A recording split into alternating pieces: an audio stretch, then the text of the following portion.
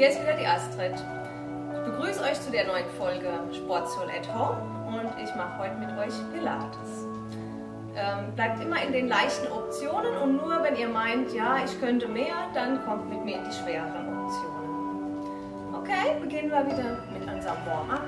Schau erstmal nach rechts und links.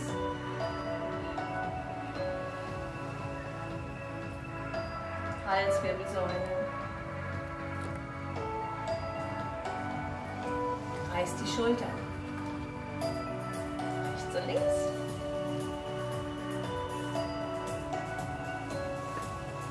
Vielleicht nimm die Hände mit auf die Schulter. Kreis die Ellbogen. Geht auch schneller. Spür mal nach. Jetzt deine Brustwirbelsäule mobilisiert. Mach große Kreise. Noch vier, noch drei, zwei, mal die Arme nach vorne nach hinten. Mal wieder liegende Achter. Atme aus, ein, dich rund, richte dich auf. Brustbein kommt zur Decke. Daumen gibt die Richtung vor.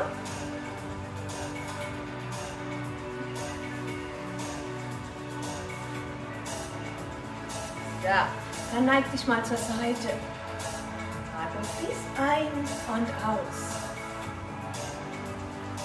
Zieh dich lang aus der Hüfte raus. Spüre Dehnung hier seitlich.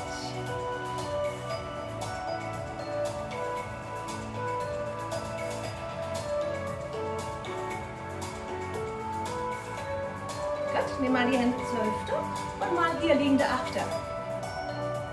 Unteren Rücken mobilisieren geschmeidig werden.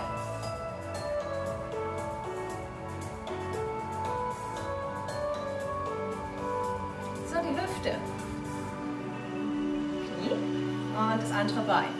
Heb an, streck dein Bein.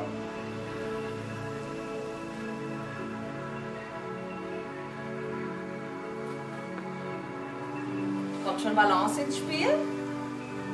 Einbeinstand, Sturzprophylaxe dein Fuß.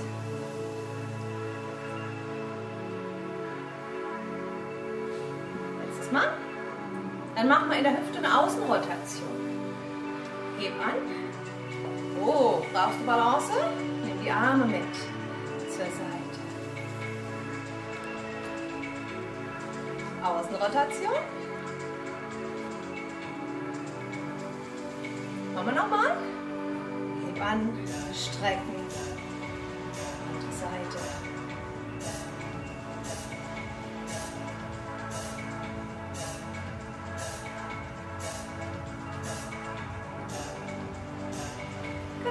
Eine Ausfallschritt zur Seite. Komm in einen Squat. Guck, dass dein Knie in Richtung Fußzehen geht, aber nicht über die Fußspitze raus. Komm tief. Vielleicht nimmst du die Arme mit.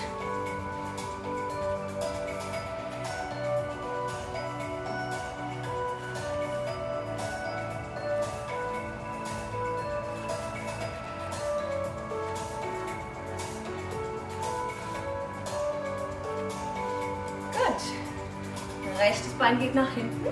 Komm tief, hoch, tief, hoch.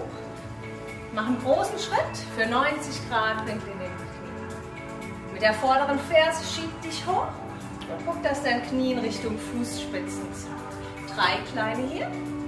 Komm hoch. Drei, zwei, eins, hoch. Letztes Mal. Gut, wechsel das Bein. Drei. Machen wir erstmal die Singles. Komm tief hoch. Guck, dass deine Schultern über der Hüfte bleiben. Brustbein will hoch Richtung Decke. Becken so ein bisschen vorschieben. Drei Stück. Drei hier unten. Schieb hoch mit Kraft.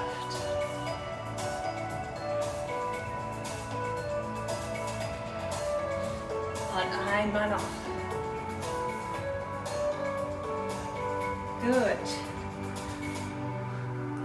Mal durch. Wenn du magst, komm hoch auf die Zehenspitzen, schwing durch. Atme ein, atme aus. Letztes Mal. Gut, das war unser Warm-up. Mach etwas leiser. Und dann beginnen wir mit unserem Workout. Stell dich an den hinteren Rand der Matte, sodass du die Matte vor dir hast. Fersen stellst du unter deine Hüften. Fächer die Fußzehen auf, legst ab wie Teppichfransen und beginn deine Schulter nach hinten unten zu rollen. Dein Brustbein kommt hoch Richtung Decke, langer Nacken, Kinn so ein bisschen rangezogen. Du hast Spannung zwischen deinen Schulterblättern und ziehst den Nabel ein. Spann deinen Beckenboden an. Das ist das sogenannte Powerhouse, was wir die ganze Stunde über beibehalten. Atmen hier in die Flanken. Und wir beginnen wieder den Rücken zu mobilisieren, indem wir uns nach vorne abrollen, wie an einer Wand stehen. Roll dich Wirbel für Wirbel wieder auf. Komm hoch auf die Zehenspitzen, wenn du magst. Das kann man auch weglassen. Und beginnen wieder mit dem Abrollen. Nimm mal wahr, wie weit kommst du nach unten. Und vielleicht beim zweiten, dritten Mal ein Stück tiefer.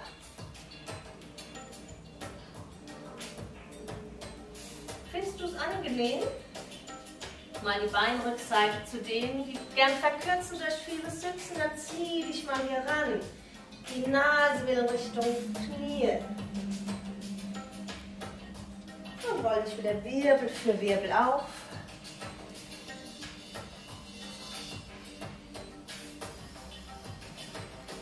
Beginner stützen sich hier ab für den langen Rücken und kommen wieder in die Vorbeuge zurück. Fortgeschrittene, ohne Abstützen. Denk dich in die Länge. Wer will noch mehr? Nimm mal deine Arme neben die Ohren.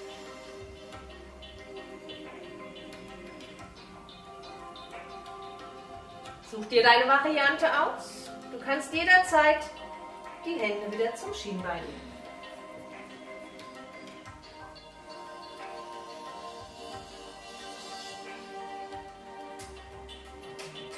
Atme hier ein, bring Länge in deinen Rücken. Atme aus, komm in die Vorbeuge. Nase ein, Mund aus, als wolltest du gegen einen Spiegel hauen.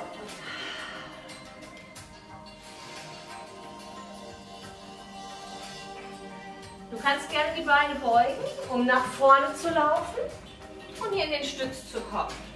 Der Zeigefinger ist auf 12 Uhr. Dreh deinen Bizeps nach vorne und zieh den Nabel fester ein. Beginner legen die Knie ab und machen hier ihren Push-Up. Die Ellbogen zeigen nach hinten. Variante 2 wäre hier ganz eng an den Rücken oder heb ein Bein an. Immer im Wechsel. Ellbogen 90 Grad. Atme hier durch die Nase ein, durch den Mund aus.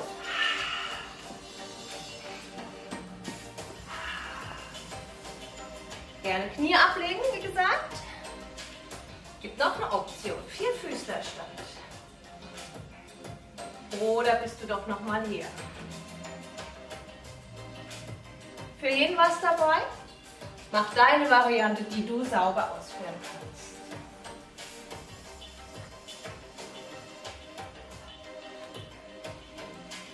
Bist du rechts und links ausgeglichen? Komm nach unten in die Bauchlage.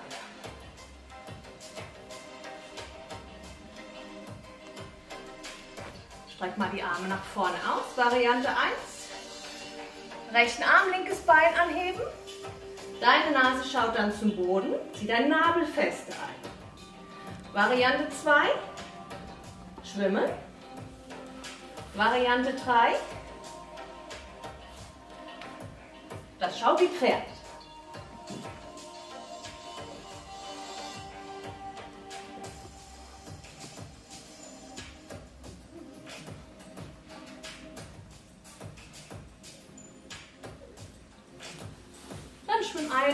Händen nach hinten und bring dich nach hinten in die Kindspose. Atme mal hier in die Flanken ein.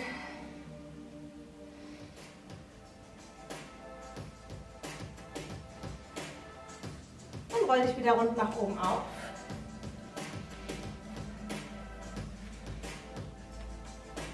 Bring mal die Knie unter deine Hüften.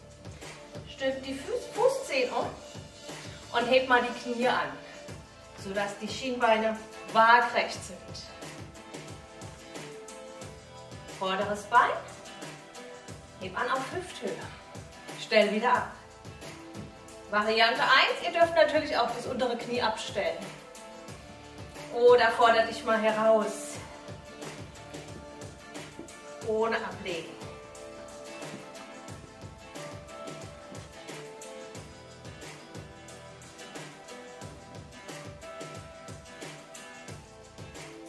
Atme aus. Atme ein.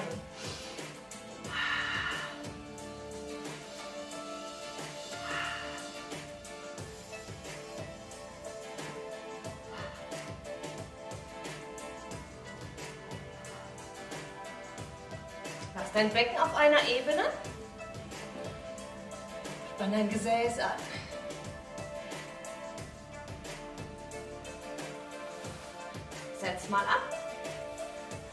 Mobilisiere mal die Handgelenke. Drück mal gegeneinander.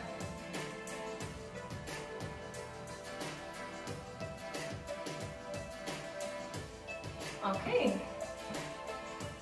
Kreuz die Beine. Schau, dass du nach hinten Platz hast. Und beginn mal hier zu rollen, wie ein Ball. Bring Balance ins Spiel, Kontrolle. Dein Nacken bleibt frei von Belastung. Du stoppst an den Schulterblattspitzen und halt mal an. Stopp. Kannst du mehr? Streck mal die Beine. Fass die Fesseln. Stopp ab. Ihr könnt jederzeit die Beine beugen, Knie, Kniekehle fassen.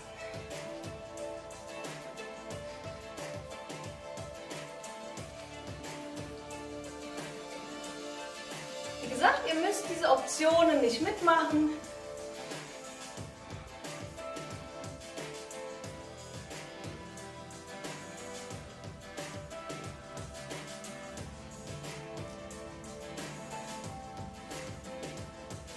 Gut.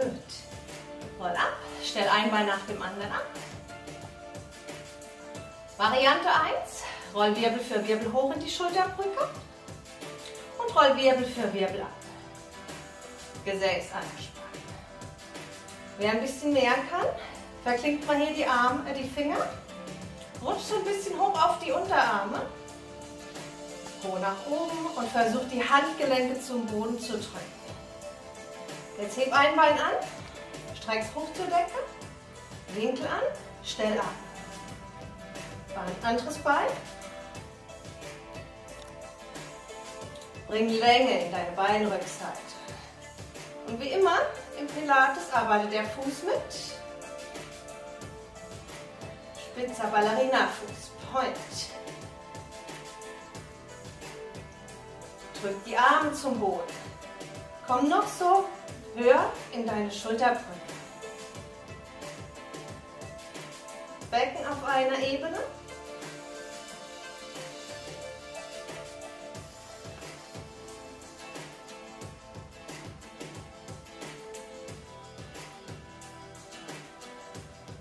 Löst die Hände, roll Wirbel für Wirbel wieder nach unten.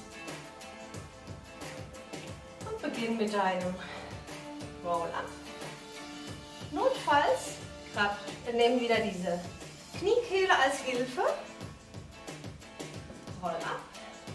Vorbereitend einatmen mit der Ausatmung. Komm nach oben.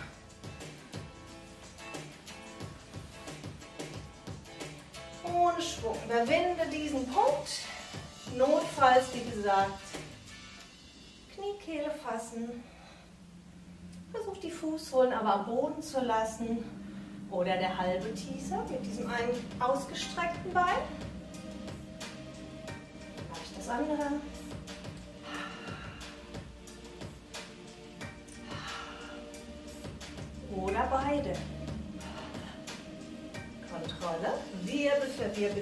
Unten. Such deine Variante, die du sauber ausführen kannst.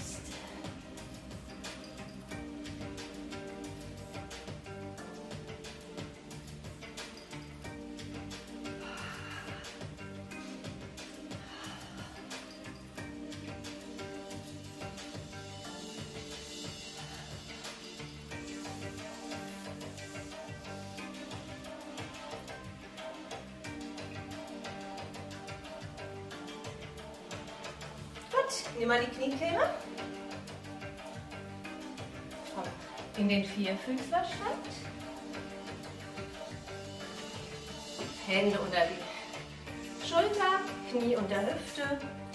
Nimm das vordere Bein, was jetzt näher an, an deinem Bildschirm ist. Streck's aus nach hinten. Das hintere Bein legst du ein bisschen nach hinten auf klapp zu mir nach vorne.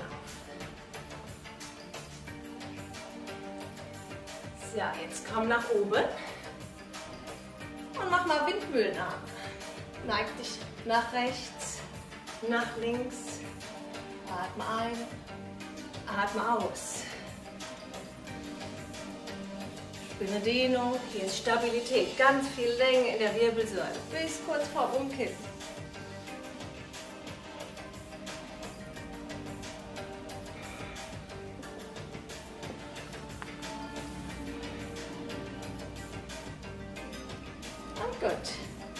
Lande mal hier, dass deine Hand unter der Schulter ist.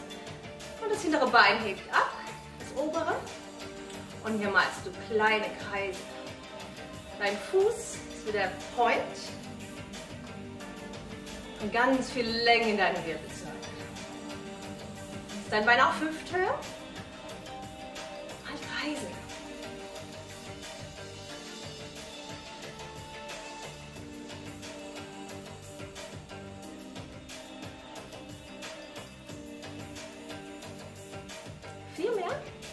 Drei noch.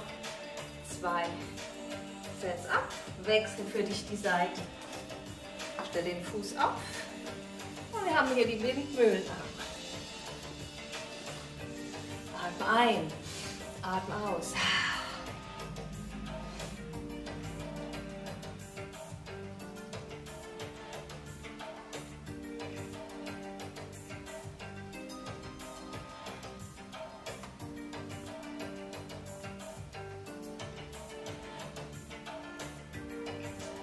Dann landen wir wieder. Bring deine Hand unter deine Schulter. Das obere Bein hebt ab. Mal Kreise.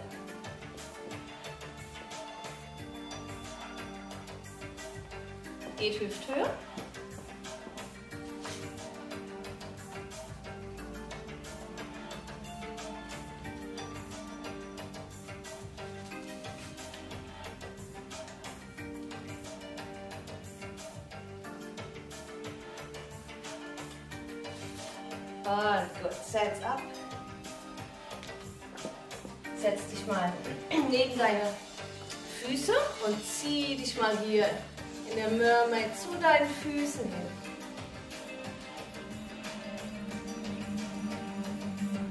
Seite. Nimm ruhig deine Fessel in die Hand und zieh dich mal zu deinen Füßen. Spür hier eine Dehnung.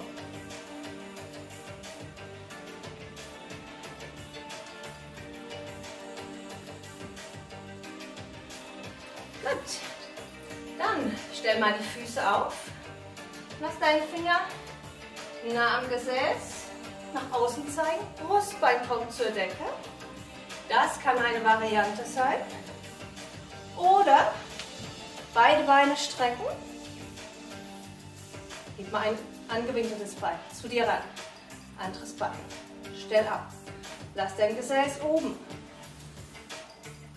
Oder die Kicks.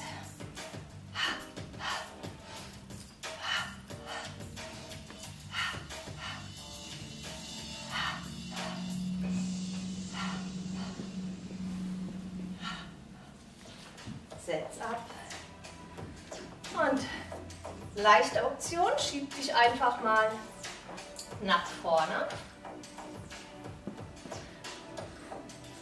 Schwerere Option, bring dein Brustbein möglichst nah an deinen Oberschenkel. Dehn mal dein Bein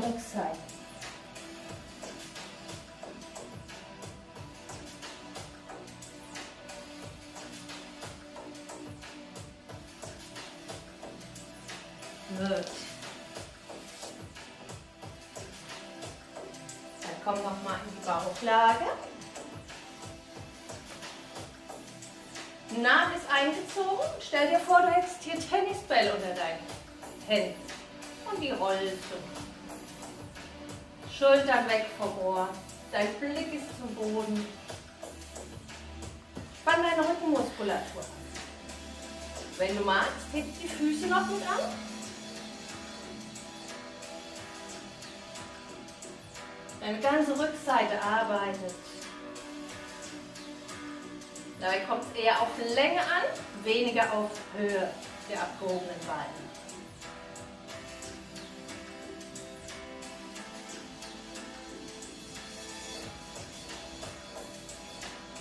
Schieb dich nochmal nach oben. Dreh mich nur nochmal zu euch hin. Deine Knie hast du jetzt unter der Hüfte. Nabelfeste einziehen ist eine Übung hier für die Oberschenkel, für die gesamte Front. Fuß locker, neig dich mal nach hinten und schau, ob du wieder nach vorne kommst. Gut, nochmal. Und, kannst du mehr? Ein Arm nach hinten, komm wieder vor. Vielleicht kannst du beide Arme mit nach hinten. Richte dich wieder auf. Atme ein. Atme aus.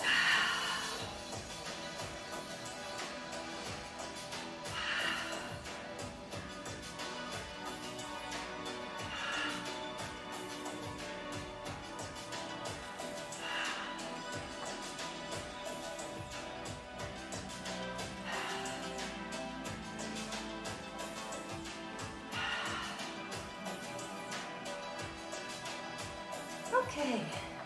Dann dehnen wir die Beine. So. War entweder im halben Bogen. Hast von innen deinen Fuß. Der Fuß ist geflext. Und die Ferse zieht jetzt weg vom Gesäß, sodass du in eine Rückbeuge kommst. Dehn deine Front. Wechsel entweder die Seite oder nimm beide Füße. Dann lass die Knie möglichst nah beieinander.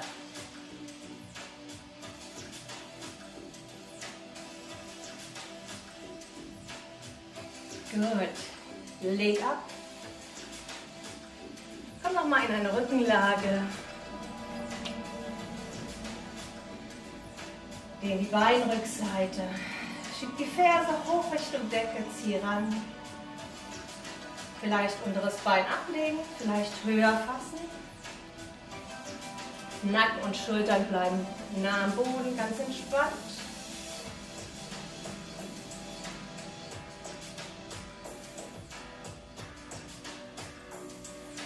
Wechsel. Variante 1, 2 oder 3.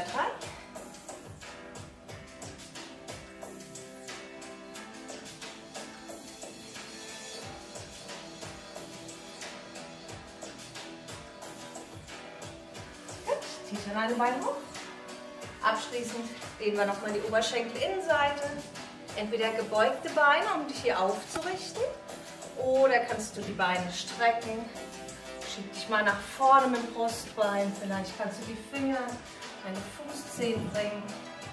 Und dich mal nach unten in die weite Vorbeuge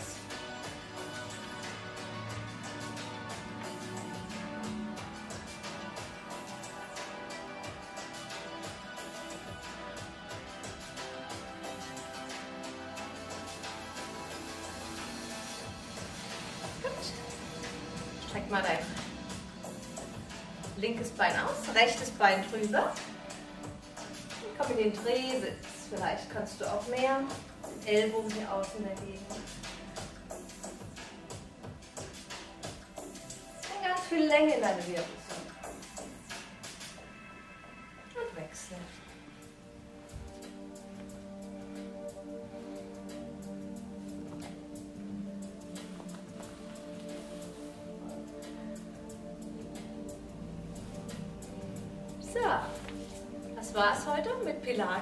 Ich hoffe, es hat euch Spaß gemacht und bis hoffentlich bald.